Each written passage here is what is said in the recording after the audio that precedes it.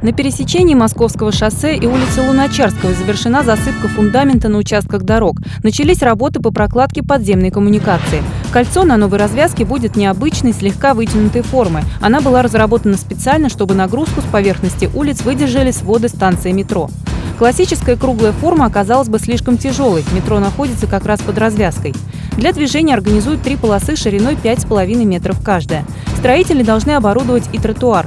Пока закрыто движение автотранспорта по Московскому шоссе в направлении центра города на участке от проспекта Масленникова до улицы Киевской. Строителям предстоит провести масштабные работы по переустройству сетей ливневой канализации, водоснабжения, водоотведения и электроснабжения. На кольце установят новые фонари, светофоры, три остановки общественного транспорта, а также современную систему видеонаблюдения.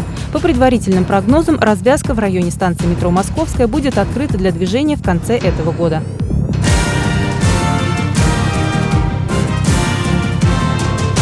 Больше тысячи обманутых дольщиков готовятся в этом году к новоселью. В эксплуатацию ведут несколько проблемных объектов. В прошлом году удалось достроить 8 многоквартирных домов для тысячи с лишним жителей. Завершается строительство дома номер 10 по улице Тухачевского. Здание начали возводить в 2005 году. В строительстве участвовали 211 дольщиков. Планировалось возвести 4 секции от 10 до 16 этажей. Работа затягивалась. Через несколько лет застройщика признали банкротом, а так и несданный дом внесли в список проблемных объектов. В 2013 году совместными усилиями городского и областного департамента строительства определили нового подрядчика. Он завершил возведение всех четырех секций и провел все коммуникации. Сейчас ведутся внешние отделочные работы. Застройщик обещает сдать дом к началу четвертого квартала этого года.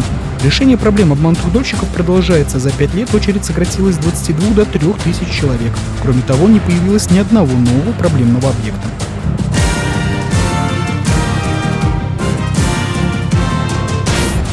Продолжается комплексный ремонт улиц по федеральной программе «Безопасные и качественные дороги». В списке 41 улица. На Галактионовской работают две бригады. Пока одни укладывают верхний слой дорожного покрытия, другие готовят съезды и парковочные места. Галактионовская имеет важное значение. Она является частью гостевого маршрута и ведет к площади Куйбышева. Ремонт ведется на участке в 2 километра. Завершить работы подрядчик обещает в октябре. На Красноглинском шоссе идет фрезерование асфальта. Работы ведутся на участке длиной почти в 10 километров. От Волжского шоссе до моста через реку Сок. По проекту проезжую часть расширят с двух полос до четырех. В центре и по обочинам установят ограждение. Весь участок оборудуют пешеходными переходами, светофорами с возможностью кнопочного регулирования, а также посадочными площадками и пандусами. Ремонт ведется ночью с 22 часов до 6.30 утра. Днем ведутся подготовительные работы. Движение для транспорта не закрыто, осуществляется по одной полосе по реверсивной схеме.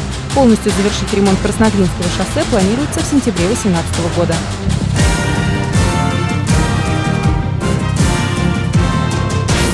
В Струковском саду установили бордюрные камни, систему электроснабжения и автополива. Уже завершены все демонтажные работы. В парке срезали все асфальтовое покрытие, уже началось укладывание тротуарной плитки. Также будет восстановлено ограждение с металлических решеток, снимут старую краску, отреставрируют кирпичные столбы. Обновится и освещение, парк украсят фонари, стилизованные под пушкинскую эпоху. Приведут в порядок памятник Максиму Горькому и фонтан на входе. Вместо разрушенного бассейна установят детскую площадку. В Турковском саду обустроят зоны для занятий спортом, приведут в порядок скейт-площадку. В парке восстановят дорожки, фонтаны, а также площадку для аттракционов. Зимой она будет использоваться под каток. Восстановят летний театр, планируется сделать в нем разборные стены, чтобы зимой в театре можно было работать. Для отдыхающих установят скамейки, шезлонги, велопарковку, беседки. Работы в Турковском саду должны завершиться этой осенью. Городская администрация обещает сохранить исторический облик парка.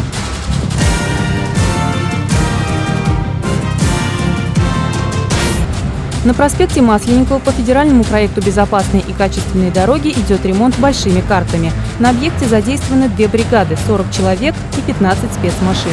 Смена начинается в 22 часа. Работы ведутся ночью, чтобы не мешать движению транспорта.